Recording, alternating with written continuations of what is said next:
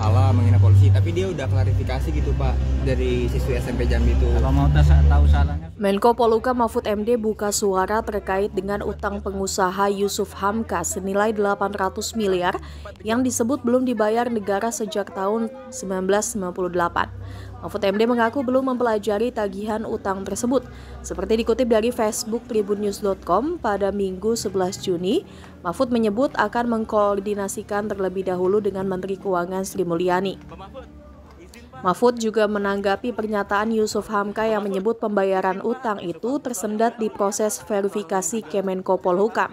Sebelumnya, Yusuf mengatakan informasi tersebut didapatkannya dari Direktorat Jenderal Kekayaan Negara atau DJKN Kementerian Keuangan. Mahfud MD membantah hal tersebut.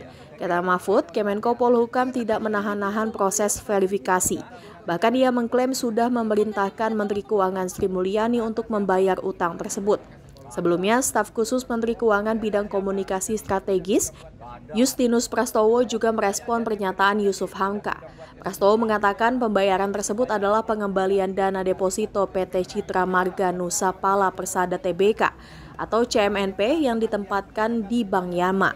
Bank itu diketahui kolaps pada saat krisis 1998 karena Bank Yama dan CMNP dimiliki oleh Siti Hardianti Rukmana maka ketentuan penjaminan atas deposito CMNP tersebut tidak mendapatkan penjaminan pemerintah karena ada hubungan terafiliasi antara CMNP dan Bank Yama. Namun Yusuf membantah tudingan tersebut. Sampai akhirnya ia menang gugatan di Mahkamah Agung atau MA pada tahun 2015, di mana pemerintah diwajibkan membayar deposito CMNP tersebut beserta bunganya sebesar 2% per bulan. Ya. Bagi spesial bagi foto. Oke ya. Tadi saya cuma dipanggil oleh Bapak Sesmen Polhukam kan permasalahan yang paling jelas apa dan saya jelaskan itu saja. Jadi lebih lengkapnya nanti Insya Allah saya akan dipanggil Pak Mahfud apakah hari ini apakah besok nanti saya juga nggak tahu. Ya nanti dengar dari Pak Mahfud dan menurut saya ya kata-kata saya terakhir Indonesia tercinta memerlukan pemimpin-pemimpin yang seperti Pak Mahfud MD. Ya, orang yang satria menurut saya. Bila negara salah, beliau berani mengatakan salah.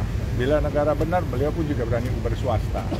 Ya, buat saya, ya insya Allah semuanya selesai dengan baik. Saya rakyat biasa, saya rakyat kecil, dan saya cuma minta keadilan. Mudah-mudahan saya percaya negeri tercinta kita ini masih punya rasa keadilan buat warga negaranya.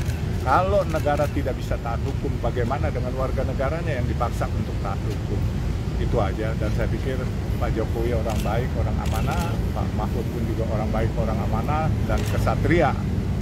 Bu Menteri juga orang baik, orang amanah. Kalau soal bawahannya Bu Menteri, ya walau-walau. Tadi Pak Susmenko tanya angka utangnya nggak Pak? Oh, semua saya jelaskan. Saya jelaskan semua. Lo jangan foto foto gue manggil-manggil bayar lo. Pak, Kan soal duitnya gue cuciin 359 triliun. Pak berarti tadi bukan meminta tolong memo atau surat ke Kemenko Oh, Polhukam enggak. Betul cepat bilang, banget Pak pertemuannya. Ya cepat